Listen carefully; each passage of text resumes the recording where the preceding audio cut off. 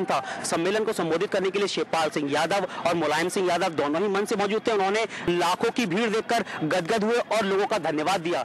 नेताजी ने जहाँ मन से केंद्र सरकार को, कोसा मोदी को झूठे वादे करने के लिए प्रदेश और देश में लोगों को परेशान करने के लिए जिम्मेदार ठहराया। वहीं नोटबंदी के फैसले के बाद से 105 मौतों का जिम्मेदार भी प्रधानमंत्री को ठहराया। वहीं प्रदेश सरकार के मुख्यमंत्री अखिलेश यादव ने आज नोटबंदी के दौरान हुई मौतों के लिए दो दो लाख रुपए का मुआवजा देकर मरम लगाने का काम किया है। अब देखना यह होगा कि 2017 में किस तरह से समाजवादी पार्टी अपनी सरकार बनाती है। बरेली में सजा हुआ मंच, मुलायम सिंह यादव के जाने के बाद उखाड़ा जा रहा है। ये तमाम तैयारियाँ थी जो समाजवादी पार्टी की रैली से पूर्व की गई थी। मंच से शिवपाल सिंह यादव और मुलायम सिंह यादव के साथ साथ गायत्री प्रजापति ने भी मंच को संबोधित किया और जनता से प्रदेश सरकार में दोबारा सरकार बनाने का आह्वान किया। प्रधानमंत्री नरेंद्र मोदी को मुलायम सिंह यादव ने झूठा करार दिया है और उनकी नोटबंदी के फैसले के दौरान एक मौतों का जिम्मेदार उनको ठहराया है। नेताजी ने मंच से ही प्रदेश सरकार से प्रदेश सरकार के सराहनीय कार्यों की भी सराहना की और कहा कि अखिलेश ने जो जनता से वादे किए थे, उन्हें समाजवादी पार्टी की सरकार ने पूरा किया है। समाजवादी की पार्टी की कथनी और करने में कोई फ़र्क नहीं होता। समाजवादी पार्टी या समाजवादी पार्टी का कार्यकर्ता जो कहता है उसे करके दिखाता है। अब जनता से वादा चाह रहे हैं, जनता से मांग कर रहे हैं कि 2017 में विधानसभा में तमाम उनके विधायक और प्रत्याशी को चुनकर भेजे, जिससे कि प्रदेश में समाजवादी पार्टी की सरकार दोबारा से बन सके। मुलायम सिंह मंडलीय सम्मेलन में भीड़ देख के गदगद हो गए उन्होंने कार्यकर्ताओं से कहा कि वह जनता के बीच में जाकर प्रदेश सरकार की उपलब्धियों को गिनाए, जिससे कि सरकार प्रदेश में दोबारा से समाजवादियों की बन सके। समाजवादी पार्टी कथनी और करनी में कोई फ़र्क नहीं होता। इसलिए तमाम कार्यकर्ता चुनाव को लेकर जी जान से जुट जाए। अब देखने वाली बात यह होगी कि मुलायम सिंह के इस आह्वान के बाद से जनता और में कार्यकर्ता किस तरह से जाके सरकार की छवि को बनाते हैं और किस तरह से समाजवादी पार्टी की दो हज़ार सत्रह में सरकार बनने के लिए लड़ाई तो तैयारी देखने वाली बात है कि किस तरह से दो हज़ार सत्रह विधानसभा चुनाव का समाजवादी पार्टी आगाज़ करती है। मंडली रैली फ़िलहाल सफल रही। नेताजी ने सभी को धन्यवाद कहा और तमाम नेता और मंत्री और कार्यकर्ता और दर्जा राज्य मंत्री तमाम लोगों को सफल बताया। होने के आसार बढ़ गए हैं। जहाँ पार्टी के राष्ट्रीय महासचिव और राज्यसभा सांसद राम गोपाल यादव ने साफ़ किया है कि टिकट बंटवारे पर अंतिम निर्णय मेरा ही होगा। वहीं पर पार्टी के प्रदेश अध्यक्ष शिवपाल सिंह यादव ने कहा है कि मुख्यमंत्री अखिलेश यादव से सिर्फ़ राय ली जाएगी, फैसला उनका होगा। मुख्यमंत्री अखिलेश यादव टिकट नहीं बांटेंगे, सिर्फ़ सुझाव देंगे। यह कहना है समाजवादी पार्टी के प्रदेश अध्यक्ष और चाचा शिवपाल सिंह यादव का। बरेली रैली का जायजा लेने पहुँचे शिवपाल यादव ये बयान देकर पिछले दिनों से शांत समाजवादी पार्टी में एक नई हलचल शुरू कर दी है, जिसके अलग अलग सियासी माने निकाले जा रहे हैं। उधर पिछले दिनों इटावा पहुँचे एक निजी कार्यक्रम में पार्टी के राष्ट्रीय महासचिव और राज्यसभा से सांसद राम गोपाल यादव ने साफ़ तौर से कहा था कि चूँकि मैं पार्टी का जनरल सेक्रेटरी हूँ, ऐसे में पार्टी में टिकट बंटवारे का अंतिम फैसले पर मोहर का मेरा ही अधिकार है। इसी बयान के बाद शिवपाल सिंह यादव के बयान से ये साफ़ ज़ाहिर है कि आने वाले समय में समाजवादी पार्टी में टिकट बंटवारे को लेकर हलचले और तेज हो सकती हैं। समाजवादी पार्टी में टिकट बंटवारे को लेकर गुटबाजियाँ तेज हो चुकी हैं। अब देखना दिलचस्प होगा कि पार्टी सिर्फ़ समाजवादी पार्टी के बैनर पर ही चुनाव लड़ेगी या आने वाले समय में समाजवादी पार्टी कांग्रेस के साथ गठबंधन भी कर सकती है नौ जनपद के सदर विधानसभा क्षेत्र में भारतीय जनता पार्टी द्वारा आज पिछड़ा वर्ग सम्मेलन का आयोजन किया गया, जिसमें भारी संख्या में भारतीय जनता पार्टी के कार्यकर्ता और पदाधिकारी मौजूद है इस कार्यक्रम में दो पूर्व मंत्री सहित एक पूर्व एमएलसी भी मौजूद है भारतीय जनता पार्टी के पिछड़ा वर्ग सम्मेलन में मोहम्मदाबाद और सदर विधानसभा के कार्यकर्ता और पदाधिकारी सम्मिलित हुई। कार्यक्रम के माध्यम से बताया गया कि जब तक उत्तर प्रदेश में भारतीय जनता पार्टी की सरकार नहीं बनेगी, तब तक पिछले वर्ग के लोगों को उनका अधिकार नहीं मिलेगा। वर्तमान और पिछली सरकारों ने मिलकर प्रदेश को लूटने का काम किया है और पूरे प्रदेश में गुंडा राज और भ्रष्टाचार बढ़ा है। मोदी द्वारा किए गए विकास कार्यों और योजनाओं से सभी लोग खुश हैं और 2017 के चुनाव में भारतीय जनता पार्टी की सरकार बनने से कोई नहीं रोक सकता है। भारतीय जनता पार्टी के इस पिछड़ा वर्ग सम्मेलन के माध्यम से आज मऊ सदर विधानसभा सीट से भारतीय जनता पार्टी ने 2017 का विधानसभा चुनाव का विगुल फूक दिया है। ऐसे में बहुत सारे ऐसे भी लोग यहाँ उपस्थित थे जो मऊ सदर सीट और मोहम्मदाबाद सदर सीट से अपने टिकट की दावेदारी पेश करने के लिए भारी संख्या में समर्थकों के साथ उमड़े हैं। लोगों को बताया गया है कि मोदी ने किस प्रकार से विकास कार्यों को अंजाम दिया है और आगे भी जनता मोदी के विकास कार्यों से प्रभावित होकर 2017 के विधानसभा चुनाव में भारतीय जनता पार्टी की सरकार बनाएगी। प्रदेश सरकार राज्य में जल्द चार हज़ार से भी अधिक होम गार्ड्स की नियुक्ति करने जा रही है। सरकार के मुखिया हरीश रावत ने इस बात का आज ऐलान कर दिया है कि जल्द से जल्द चार हज़ार अतिरिक्त होम गार्ड्स की नियुक्ति की जाएगी। होम गार्ड्स को लेकर मुख्यमंत्री हरीश रावत ने साफ़ किया है कि होम गार्ड्स ने एक महत्वपूर्ण भूमिका उत्तराखंड में निभाई है। कम पैसे और कम संसाधनों में उन्होंने महत्वपूर्ण समय में सरकार और राज्य का साथ दिया है। ऐसे में उनकी मांग जायज़ है। साथ ही मुख्यमंत्री हरीश रावत और विभागीय मंत्री प्रीतम सिंह ने ये भी कहा है कि जो होम गार्ड्स हैं, उनके मृतक आश्रितों को भी अब सेवा में लिया जाएगा और इनके लिए एक नियमावली बनाई जा रही है, जिससे इनके अधिकार और इनके वेतन विसंगति के सभी मामले दूर कर दिए जाएँगे। मुख्यमंत्री हरीश रावत और विभागीय मंत्री प्रीतम सिंह के ऐलान के बाद होम गार्ड्स और उनके परिजनों के चेहरे खिल गए हैं। उनको उम्मीद है कि सरकार उनकी वेतन विसंगति की मांग को भी जल्द दूर करेगी और राज्य में चार हज़ार नए पद सृजित किए जाएँगे। कई बैंकों में पैसे नहीं, कई एटीएम में ताले लगने होने के कारण लोगों को काफ़ी दिक्कतों का सामना करना पड़ रहा है। कैश के लाले और एटीएम पर ताले नोटबंदी के बाद से गाँव का यही सच है। पैसे ना होने से कई जगहों की शाखाएँ देर से खुल रही हैं। आक्रोशित लोगों को शांत कराने के लिए कई जगहों पर पुलिस को दखल देना पड़ रहा है। कुछ जगहों पर तो पैसे ना मिलने से नाराज़ लोगों ने सड़क भी जाम किया। तीन दिन में दो दिन बैंक बंद रहने के नाते अधिकतर एटीएम सफ़ेद हाथी बन रहे हैं। एक आध में पैसा था तो वहीं लंबी लाइन थी। गाँव में यूँ भी नकदी का संकट बना हुआ है। फ़सल सीज़न में किसानों को खाद बीज के लिए सर्वाधिक नकदी की ज़रूरत होती है। इस पैसे से कब लोगों को निजात मिलेगा ये तो अब आने वाला वक्त ही बताएगा। उत्तर प्रदेश में महिलाओं के प्रति अपराध थमने का नाम नहीं ले रहे हैं। आज बदायूं ज़िले में ही बलात्कार के तीन मामले सामने आए हैं। थाना जरीफ नगर में एक मामला सामने आया है और थाना उगैती क्षेत्र में महिलाओं के साथ दो सामूहिक बलात्कार के मामले सामने आए हैं। बदायूं ज़िले में आज तीन रेप की घटनाएँ सामने आई थाना जरीफ नगर क्षेत्र में जहाँ एक युवती के साथ बलात्कार की घटना सामने आई, वहीं थाना उगैती में दो अलग अलग घटनाएँ सामने आई हैं, जिसमें एक महिला ने अपने जेठ के साथ अन्य कई लोगों पर बलात्कार का आरोप लगाया है। वहीं दूसरी घटना में एक युवती ने आरोप लगाया है कि उसे घर से अपहृत करके कुछ लोग बाहर ले गए और उसके साथ दुराचार किया। पुलिस ने इन तीनों मामलों में मुकदमा दर्ज कर लिया है। यहाँ ये बता दें कि थाना जरीफ नगर में जो घटना हुई है, उसमें पुलिस ने तीन सौ छिहत्तर का मुकदमा दर्ज किया है और थाना गुवाहाटी में दो घटनाएँ हुई है। पुलिस ने उसमें एक में धारा तीन सौ छिहत्तर अर्थात बलात्कार में और दूसरी घटना में अपहरण करके ले जाने का मुकदमा दर्ज किया है। पुलिस का कहना है की मेडिकल के आधार पर अगर लड़की के साथ बलात्कार की पुष्टि होती है तो इस तीसरे मा, दूसरे मामले में भी मुकदमा में धारा परिवर्तित करके तीन की धारा जोड़ दी जाएगी। उत्तर प्रदेश सरकार का दावा है कि उसके शासनकाल में महिलाओं के प्रति अपराधों की संख्या में कमी आई है। लेकिन इस तरह की जो घटनाएँ सामने आ रही हैं उससे तो सरकार के दावे खोखले ही लगते हैं। अब देखना यह है कि महिलाओं के साथ हो रहे इस तरह के अत्याचारों पर कब रोक लग पाती है। ताजनगरी, आगरा में लव, सेक्स और धोखा का मामला सामने आया है। यहाँ एक दरोगा पुत्र ने पहले एक युवती को अपने प्रेम के जाल में फंसाया और उसके बाद कई साल तक उसके साथ शादी का झांसा देकर दुष्कर्म करता रहा।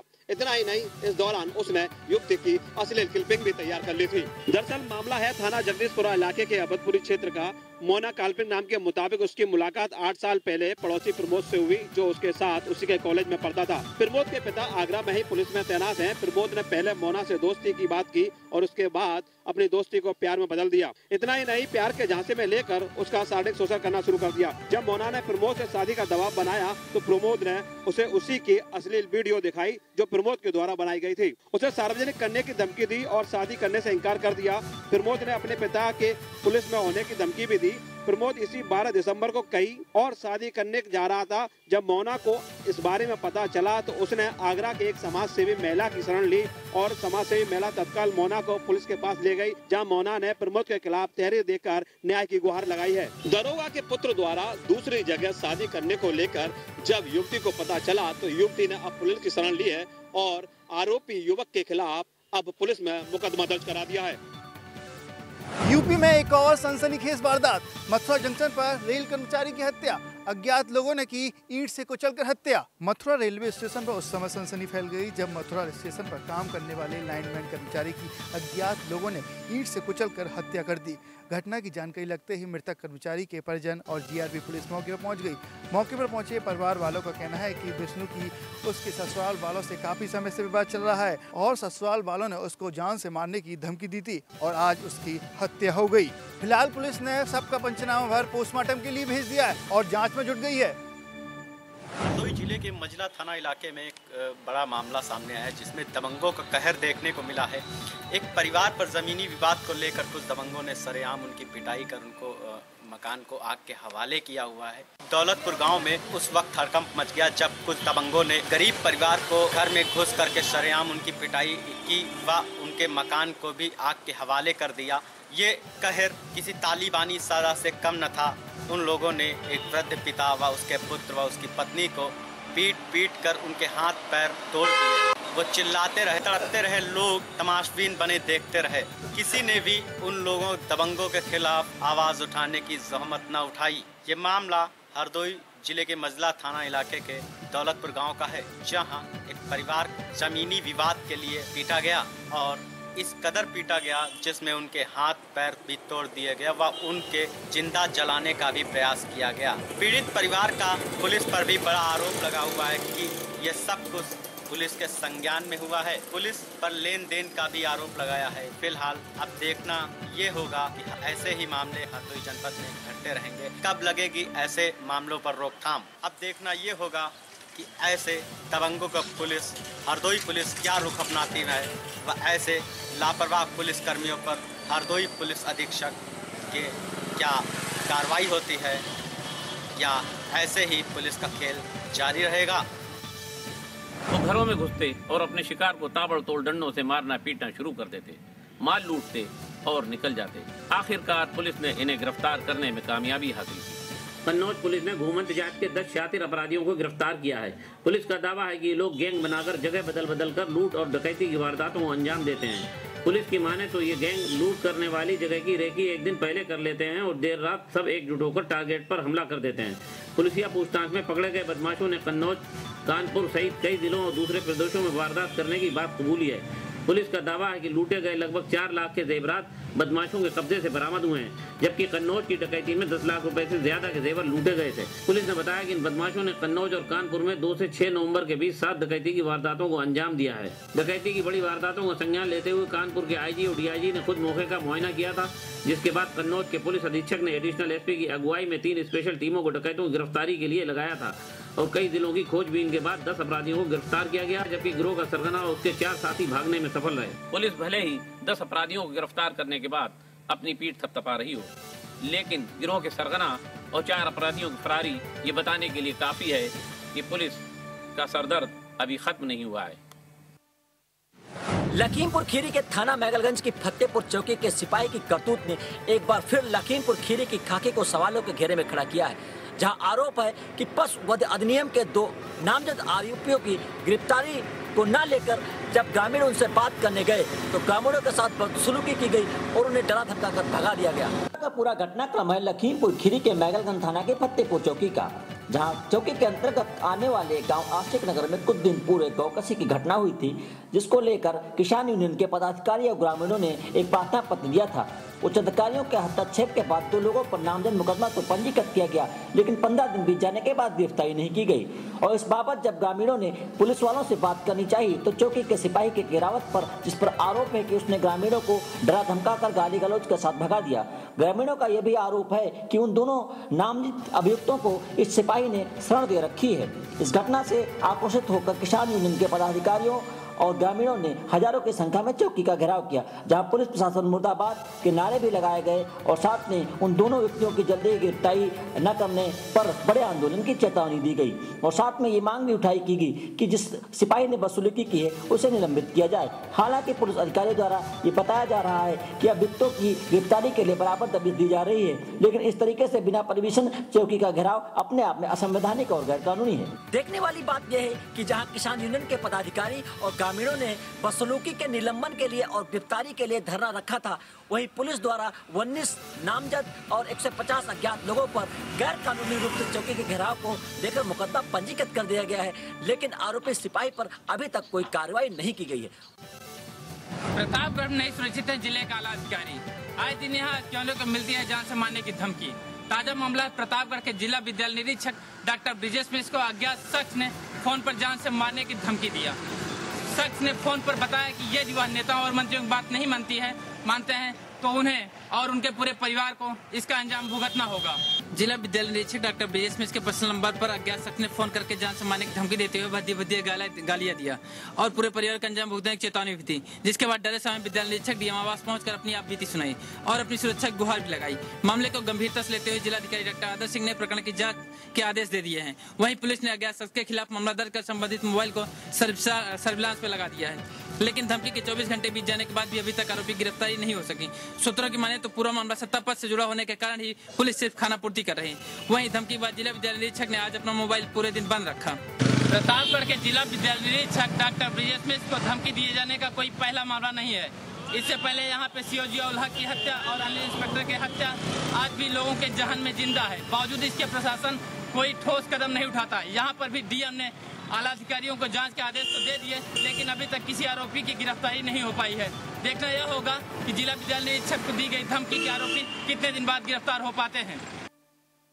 कांग्रेसी नेता हरीश धामी द्वारा जगत सिंह मारतोले के साथ की गई मारपीट को लेकर आज बीजेपी कार्यकर्ताओं ने पुलिस महानिदेशक से शिकायत करी साथ ही उसको गुंडागर्दी को लेकर उसकी गिरफ्तारी की मांग भी करी। पिछले हफ़्ते मुनिस्यारी में मुख्यमंत्री से मिलने जाते समय कांग्रेसी कार्यकर्ताओं के साथ हुई मारपीट में घायल हुए बीजेपी नेता जगत सिंह मारतोलिया ने पुलिस अधीक्षक को सौंपी अपनी तहरीर में कांग्रेसी नेता हरीश धामी पर हमला करने का आरोप लगाए हैं। तो वहीं मारतोलिया के साथ हुई इस घटना पर बीजेपी नेताओं ने कड़ी आपत्ति जताते हुए पूरे मामले की शिकायत पुलिस महानिदेशक से कर हरीश धामी की गिरफ्तारी की मांग करी है। भाजपा प्रतिनिधिमंडल ने आज देहरादून स्थित पुलिस मुख्यालय में पुलिस महानिदेशक एन गणपति से मुलाकात कर हरीश धामी की गुंडागर्दी की शिकायत करी। साथ ही मुनिशियारी में हुई घटना की पूरी जानकारी देते हुए महानिदेशक से हरीश धामी की गिरफ्तारी की मांग करी है। बीजेपी नेताओं का कहना है कि हरीश सरकार ने प्रदेश में अराजकता का माहौल बना दिया है, जिसके कारण प्रदेश कार्यकर्ता निरंकुश हो गए हैं। वहीं बीजेपी नेता नरेश बंसल ने बताया कि हरीश धामी की क्रूरता के शिकार हुए बीजेपी नेता जगत सिंह मारतोले की हालत बेहद नाजुक बनी हुई है। भाजपा नेताओं का आरोप है कि पूरे घटनाक्रम में पुलिस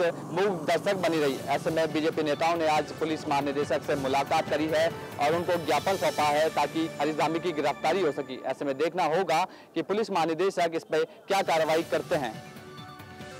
पत्थर का शिला बन के रह गया ट्रामा सेंटर का शिलान्यास। पैसे के अभाव में रुक गया ट्रामा सेंटर का कार्य। ज़िले के लोगों को बेहतर चिकित्सा सेवाएँ मिलने के दावे के साथ बहराइच नगर में ट्रामा सेंटर का शिलान्यास करने की घोषणा हुई थी। धूमधाम से तीन माह पहले बहराइच मटेरा विधानसभा से विधायक व कैबिनेट मंत्री यासिर शाह ने ट्रामा सेंटर का शिलान्यास करते हुए इसे जल्द पूरा होने की बात कही थी। ग्रामीणों का कहना था कि अब उन्हें इधर उधर नहीं बढ़ाना पड़ेगा। उन्हें लखनऊ लेके अपने मरीजों को नहीं भागना पड़ेगा। अब सभी की जिंदगियाँ सुरक्षित हो जाएँगी। लेकिन अब ये कब होता है, ये देखने वाली बात होगी। हम आपको बता दें कि बहराइच ज़िले में ड्रामा सेंटर अब सिर्फ़ लोगों का एक सपना बन के रह गया है। आप खुद वीडियो में देख सकते हैं कि चार माह में ट्रामा सेंटर बनाने के दावे के बीच तीन माह बीत जाने के बाद भी अभी तक शहर के मलेरिया हॉस्पिटल में बनने वाले ट्रामा सेंटर की सिर्फ़ न्यू ही पड़ पाई है। 18 करोड़ की लागत से तैयार होने वाले ट्रामा सेंटर के लिए मात्र 8 लाख रुपए अवमुक्त किए गए थे, जिसे अभी तक कुछ पिलर ही पड़ पाए हैं। वो भी अभी आधे अधूरे हैं। जो सामान जहाँ पड़ा था वहीं पड़ा रह गया है। जो मशीन जहाँ खड़ी थी वहीं खड़ी है। अब आप ऐसे में खुद सोच सकते हैं कि ज़िले में लोगों को बेहतर चिकित्सा सुविधा मुहैया कराने व उन्हें महानगरों में महँगे इलाज से मुक्ति दिलाने के लिए पूरे तामझाम से किए गए इस शिलान्यास व जल निर्माण के दावे कब हकीकत में तब्दील होंगे, ये देखने वाली बात होगी। हालाँकि इस पूरे मामले में जब ज़िले के मुख्य चिकित्सा अधिकारी अरुण लाल से बात की गई तो उन्होंने नेशनल वाइफ की टीम को बताया कि 6 सितंबर को ट्रामा सेंटर का शिलान्यास किया गया था। शिलान्यास के लिए लगभग आठ लाख रुपए आए थे। जो कि कार्यदायी संस्था को दे दिया गया था। जितना पैसा आया था, उतने का काम करा दिया गया। हॉस्पिटल प्रशासन द्वारा शासन को पत्र लिखा जा चुका है। जैसे ही पैसा आएगा कार्य शुरू करा दिया जाएगा। अब ट्रामा सेंटर का कार्य कब पूरा होता है, यह देखने वाली बात होगी। मेरठ पुलिस ने किसी फर्जी फाइनेंस कंपनी का भांडाफोड़ किया है, जो लोगों को फाइनेंस के नाम पर ठग लिया करते थे। पुलिस ने इनके पास से डेस्कटॉप, लैपटॉप सहित फाइलें और नकदी भी बरामद की है। इस पूरे कांड में एक दर्जन युवतियाँ भी शामिल थी, जिनको पूछताछ के बाद परिवार के सुपुर्द कर दिया गया है। फ़िलहाल पुलिस इनसे पूछताछ कर रही है और पकड़े गए आरोपियों को जेल भेजने की तैयारी कर रही है। पुलिस की गिरफ्त में खड़े नाजिम कासिफ फरमान, हैदर आसिफ सलमान और फरहान, ये सातों नवयुवक हैं और यही वो शातिर ठग हैं जो काफ़ी दिनों से मेरठ के थाना लिसाड़ी गेट क्षेत्र के आरटीओ ऑफ़िस के पास फर्जी फाइनेंस कंपनी चला रहे थे, जिनमें ये लोग फाइनेंस के नाम पर लोगों को ठग लिया करते थे। पुलिस ने रात यहाँ छापेमारी के दौरान इन सातों को गिरफ़्तार किया है। इनके साथ ही साथ एक दर्जन युवतियाँ भी गिरफ़्तार की गई हैं, जिनको पूछताछ के बाद परिवार के हवाले कर दिया गया। बता दें आपको इस दौरान इनके चार साथी भागने में कामयाब हो गए। पुलिस ने आज पुलिस लाइन में खुलासा करते हुए बताया कि ये लोग पिछले काफ़ी समय से फर्जी फाइनेंस कंपनी चला रहे थे। पुलिस ने इनके पास से एक दर्जन डायरिया फाइलें लैपटॉप डेस्कटॉप प्रिंटर और पंद्रह हज़ार रूपए की नकदी बरामद की है। पुलिस की माने तो ये गैंग पिछले काफ़ी समय से इस काम को करता रहा है। मेरठ में ये पहले भी जगह जगह अपनी कंपनी खोल चुके हैं और इस तरह से ही लोगों को ठग चुके हैं। ये लोग दूसरे राज्यों के अखबारों में अपने विज्ञापन देकर लोगों को प्रभावित कर फाइनेंस के नाम पर ठग लिया करते थे। पुलिस का दावा है कि इस तरह की जितनी भी कंपनी इस तरह से चल रही है, उनको जल्द ही बंद किया जाएगा। फ़िलहाल पुलिस इनके फरार चार साथियों की धरपकड़ के प्रयास कर रही है, जिससे इस गैंग का सफाया किया जा सके और अन्य ठिकानों को भी बंद किया जा सके। लेकिन बता दें आपको, इससे पहले भी समय समय पर इस तरह की कंपनियाँ सामने आती रही हैं। ये कोई पहला मामला नहीं है फ़िलहाल वर्तमान में भी इस तरह की कंपनियाँ मेरठ में संचालित हैं, लेकिन अब देखना यही होगा कि पुलिस के लाख दावों और वादों के बाद क्या इस तरह की कंपनियाँ बंद की जा सकेंगी। लखनऊ के ग्रामीण क्षेत्रों की बात करें तो सबसे ज़्यादा नोटबंदी का असर इस समय मजदूरों को झेलना पड़ रहा है। मजदूरों के घर का इस समय चूल्हा नहीं जल पा रहा है। अब तो मज हो गए हैं मजदूर, घर से तो काम के लिए निकलते हैं, लेकिन काम न मिलने से वो बैरंग वापस जाना पड़ रहा है उनको। सुबह से ही मजदूर हाथों में खाने का डब्बा लेकर काम की तलाश में चौराहे पर नज़र आने लगते हैं। लेकिन नोटबंदी और ठंड की वजह से काम न मिलने से मजदूरों को मायूस होकर घर लौटना पड़ रहा है। हालात ये हैं कि अब तो परिवार के लिए दो जून की रोटी जुटा पाना मुश्किल हो रहा है। ये नज़ारा राजधानी लखनऊ के हर चौराहे पर है। सुबह मजदूरों की मंडी देखने को मिलती है। दूर दराज से आने वाले हर मजदूर घर से ये सोच कर निकलता है कि शायद आज काम मिले तो परिवार के लिए कुछ कर पाए। लेकिन हालात ये है की अब तो नोटबंदी की वजह से काम न मिल पाने आने से और ठंड और कोहरे की मार झेलनी पड़ रही है। काम की तलाश के लिए मजदूर को अगर कहीं काम मिल जाए तो लोग मजदूर को 500 की नोट जो बंद हो गई है, वो दे रहे हैं। दिन भर काम करने के बाद बंद हुई नोट हाथ लग रहे हैं। अब ये देखना है कि रोज काम पर अपना और अपने परिवार का पेट पालने वाले मजदूर की दो वक्त की रोटी का इंतज़ाम आखिर कैसे हो पाएगा? इसके लिए सरकार क्या कदम उठाती है? मजदूरों का कहना है कि अगर काम पर जाते हैं तो उनको वही पुराने 500 के नोट मिलते हैं। एक तरफ़ तो मजदूरों को घर के चूल्हे नहीं जल पा रहे हैं क्योंकि उन्हें काम नहीं मिल रहा है। अगर काम मिलता भी है तो वही पुराने 500 के नोट जो बंद हो चुके हैं।